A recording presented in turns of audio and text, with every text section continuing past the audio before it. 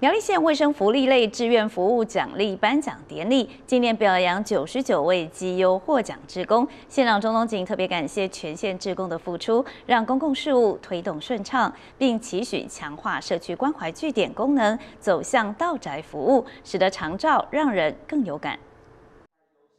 苗栗县获卫福部一百一十一年度志愿服务奖励的职工有二十一位，加上卫生福利类志愿服务奖励的七十八位职工，共有九十九位职工接受表扬。他们平时都在医疗和社福单位进行服务，其中拿下金牌奖的中秋招，投入职工十年服务时数高达了一万零七百九十七个小时，平时都在医院和妇幼馆服务。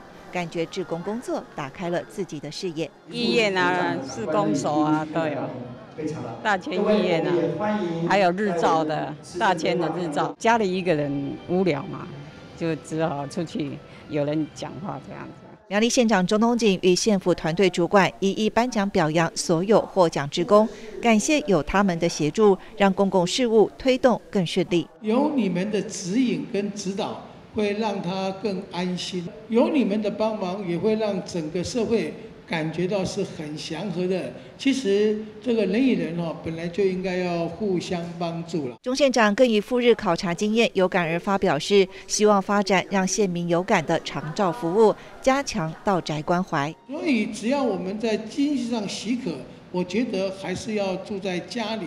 然后居家服务，如果可以走动，就到关怀据点。那什么时候会需要长照？我觉得长照是要给他经济力量已经没有办法负担。透过公开表扬活动，推展苗栗县志在服务，愿你加入的志愿服务精神，号召更多年龄层及族群的民众和企业一起加入，打造志工苗栗愿景。